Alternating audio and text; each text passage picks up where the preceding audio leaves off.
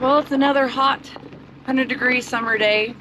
Little man has been helping Daddy and Poppy haul manure. Our manure pit's gotten full. Um, they are hauling manure to our wheat field that we just combined. Due to the distance, we're having to put it in the back of our trucks. They're using the white truck um, so that we can haul it all the way out there, dump it in a pile, and then we're going to take our manure spreader out there and uh, we'll be able to spread it across the field.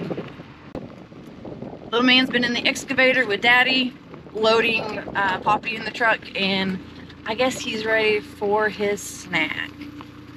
So I'm gonna go pick him up so he can have his snack.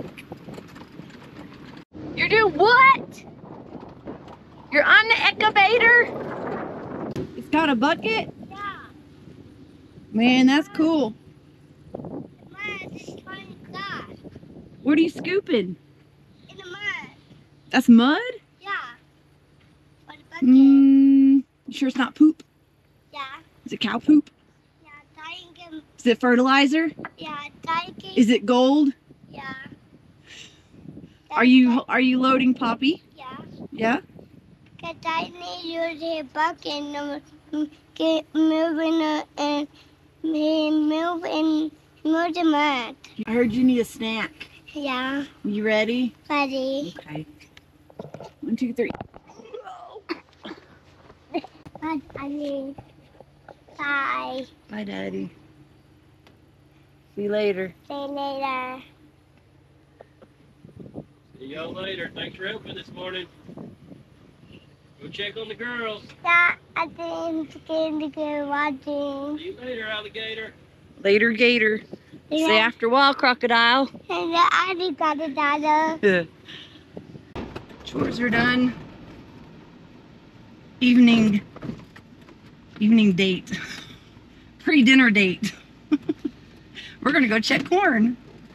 June 27th. It's approximately 30 days before we should be starting to chop corn. But we've had a lot of high heat days, no rain in sight, and the corn's getting ready. I'm, we're getting ready to take a walk out here in the field.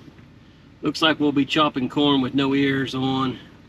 I'd say we're, instead of being 30 days out, I'd say 12 days, maybe 15. There's a chance of rain tonight. I think even if we don't get any rain tonight, I really don't think it's going to help.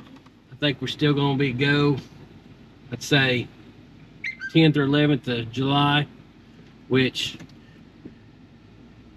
is early than what we thought. We're far from ready, but we'll get there. Pitiful corn with no ears. Let's go take a look.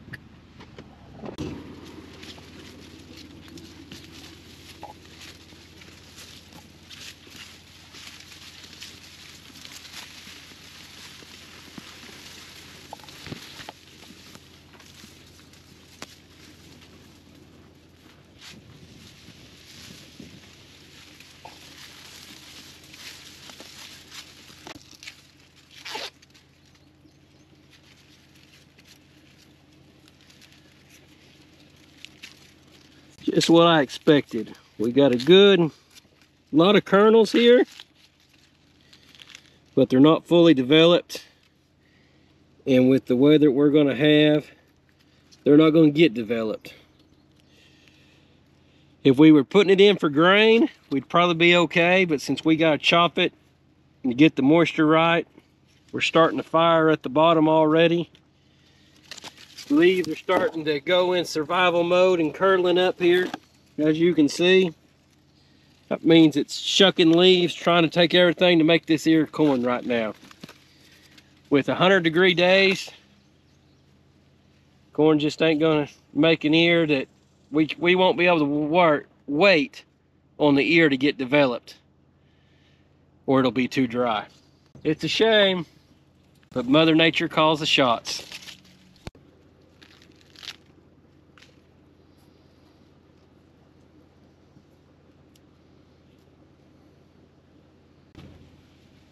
Needs a rain. Needed a rain two weeks ago. Right now, I'd say it's not looking good for silage. Half the tonnage, probably. No grain. Probably not going to get it very green because it's going to turn too fast on us. I wouldn't have said that two weeks ago when we were driving in mud. We were rutting up the hayfield. Such is farming. You roll the dice. I You always, gamble. I Every always year's said it. gamble. I always said I wanted to be a gambler.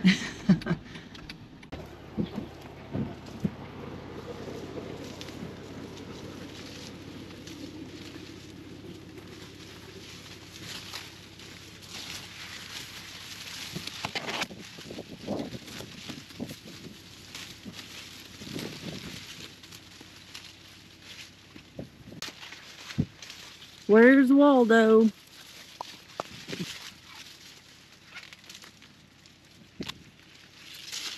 Waldo's getting over here pretty depressed at looking at the corn.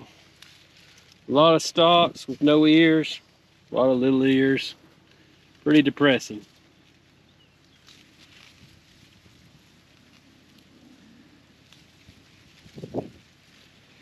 So much for that earworm.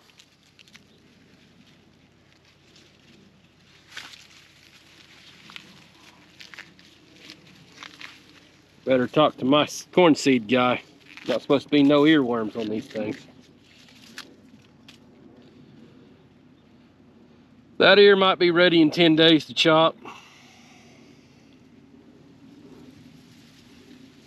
This corn's a little bit later variety. But like I said, here's a stock. That ear will never make. There's not one on that stock. About every third stock we have an ear on. Pretty pitiful. Pretty pitiful. Which is shocking. I expected a good crop year this year. With all that rain we were getting. When it was drowning us out. And we couldn't get dry. I thought, oh, this will be a good crop year. Follow the sound of the Jeep. Oh, good grief. There it is. They talked to my sprayer. Your sprayer operator didn't get to do anything but pre-emerge because it was too wet to come back in and spray. Clean field no weeds, but a lot of Johnson grass. We'll take the Johnson grass for tonnage. It'll mix in. It's the only thing we're gonna have to chop. It just makes the feed bill higher when there ain't no corn, no kernels for any starch in it. Oh well. Maybe next year. Is that what they say? Can't wait a year. We don't have till next year. We'll make some tons, but we just won't make the grain. Quality won't be there. If the quality's not there, the milk's not going to be there. We can subsidize the quality some, as long as the corn ain't dry. If it's dry, we can't, but if we chop it green, when it needs to be chopped, as long as we don't wait on the what ears are there to fill out, just bite the bullet. We can add, we can add grain, just costs more.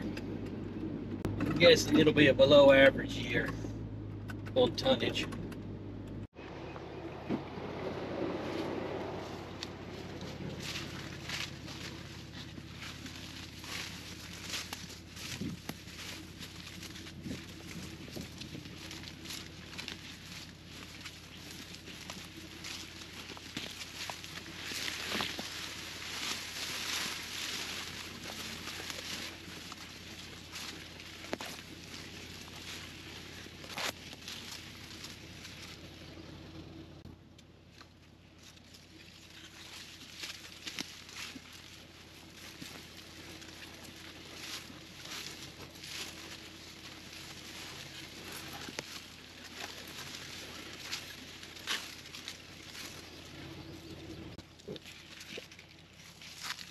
Mm.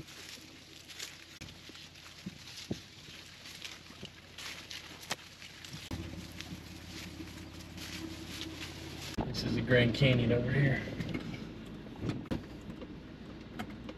So we will Dukes of Hazzard this during corn. the General Lee ain't got nothing on us. How many times have we fixed that? I don't know. That corn's burning. That corn's probably the first one you do. Fourth of July chopping corn. Everybody says they want knee-high corn by the fourth. Heck, I just don't want to have to be chopping by the fourth. Well, that was a pretty depressing date. Yes, it was. I hope he doesn't ask for my number.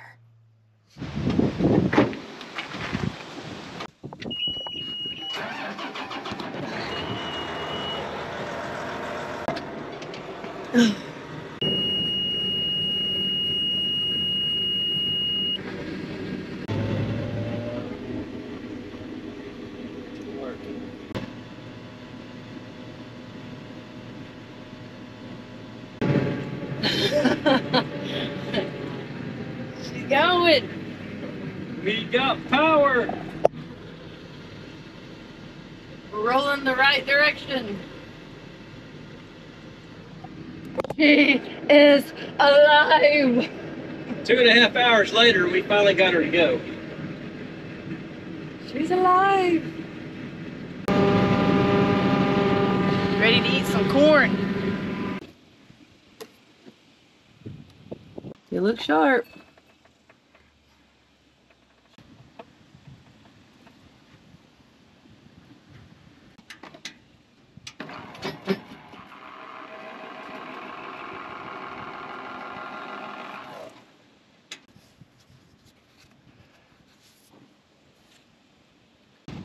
Go for 50 loads. 50 loads. Gotta sharpen it.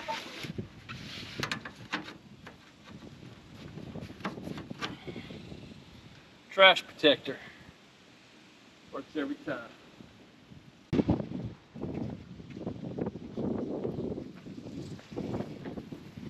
So our corn date was three year, three, three years, three, three days ago, and the corn's already burning significantly more than three days ago. And we're kind of to the point where we can't get in the field fast enough, which is why they were working on the chopper today. Oil change, added some hydraulic fluid, couldn't get the header to go. threw some hats, as y'all saw in the last video. Worked on hand The, signals. the hand, the, the hat signal was um, used a few times today. Yeah. Already been on the phone out to our good dealership out in Clovis, New Mexico, Western Equipment. Call on them for anything. They'll answer anytime, any calls, any stupid questions, they answer. When you're stuck in the field in the middle of corn, they'll answer. The mechanic laughed when I called him. Goes, I hadn't heard from you in a while. Well, it's probably about a year ago. I told him I was going to start next week, keep his phone on him. The white truck's ready. White truck's ready. We're looking about adding another truck. Still ain't got that done. Nothing like last minute. Yeah, Professional procrastinators over here. we thought we had a couple more weeks and Yeah, and we found out yesterday we, in fact, do not have a couple weeks. That's why we're in a hurry to get in the field. missed a couple of rains in the last few days. It's Yep. really, we really needed. It might have not have helped the corn, but it'd have bought us a couple more days. I'm thinking today's the first of July. We'll be going a week from today for sure, but I bet you we're going, bet we're chopping on the fourth. Okay, possibly, if anything, test chopping on the fourth just to, you know, get equipment going. Takes a day or two to kind of get everything in motion. Got to make sure my drivers know the hand signals, and that takes a couple days. I think that takes the whole season.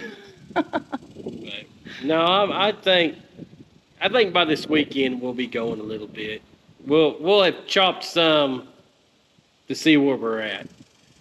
We're gonna get the pit ready tomorrow. We had a couple blocks in our concrete pit that decided they wanted to move this winter. Kind of pushed out on us. We're gonna dig them out, try to push them back into place.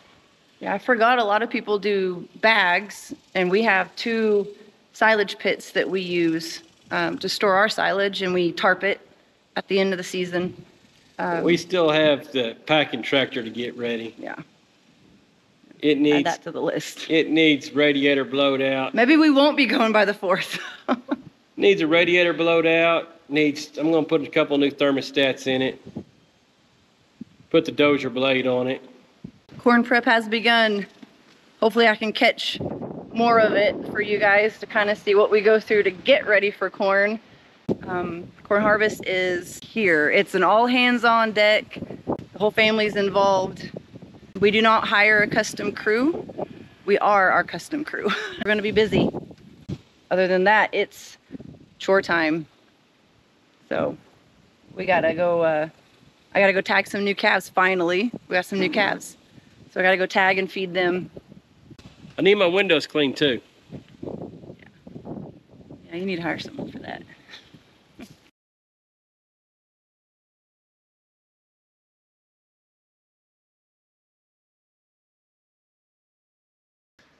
Okay. Whew. So that was their first time on bottle and they put up quite a fight. Apparently 103 degrees with a little humidity is the perfect time to wrestle. So that was fun. We don't like having out in July, August, but for some reason back in October, November, we just didn't take the bull out with uh, the cows.